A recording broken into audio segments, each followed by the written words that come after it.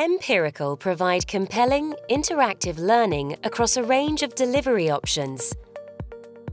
Live on site, live online, or online anytime, we have a training course that is ideal for you.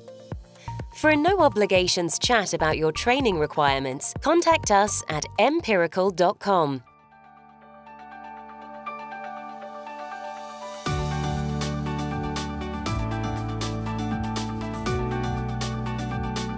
The Internet of Things, or more specifically, massive machine-type communications, is seen as being one of the three key pillars of a 5G system. And in so doing, is likely to drive a massive amount of the 5G traffic, supporting these many smart and intelligent things as they send data across the 5G network. However, for a lot of this data, the actual volume that we need to send will be typically very small.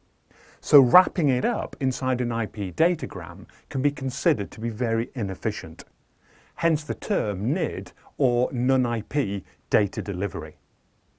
So how can we support this then across a 5G network? Well, we can see on the diagram then a simplified 5G architecture. So as far as carrying non-IP traffic across the system, we have two fundamental options.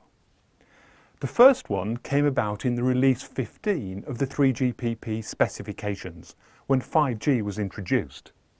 And here we could see that the traffic would have left the IoT application server and be delivered down to the UPF, the user plane function. And from here down to the gNB, across the new 5G air interface and onto our IoT device. This would have been set up using a PDU session type set to unstructured data. Again, being able to carry any type of traffic, not requiring a specific IP address, be that IPv4 or IPv6. Now, there's an alternative method for carrying NID, non-IP data delivery.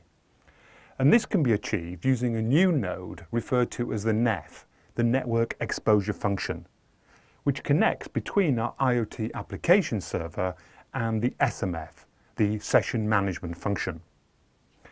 So in this case, our non-IP data will be carried via the NEF down to the SMF.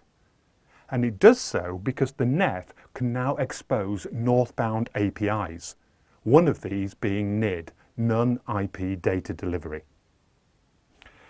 From the SMF then, the traffic will be delivered via the AMF, the Access and Mobility Management function, down to the gNB and once again across the 5G air interface down to our IoT device. Here we can see being carried as signalling or NAS signalling, non-access stratum.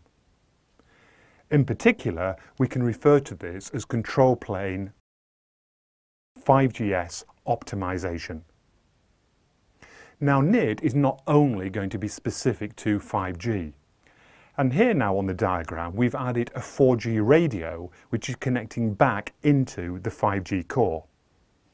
So here we can see the non-IP data leaving the IoT application server and traveling via the NEF to the SMF, the AMF, and down in this case to our 4G radio, the NG eNode B, and specifically across the 4G air interface.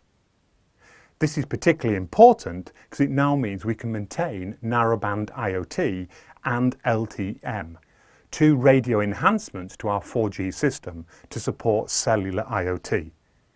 Here then plugging back into our 5G core and referenced in terms of NB-N1 and WB-N1.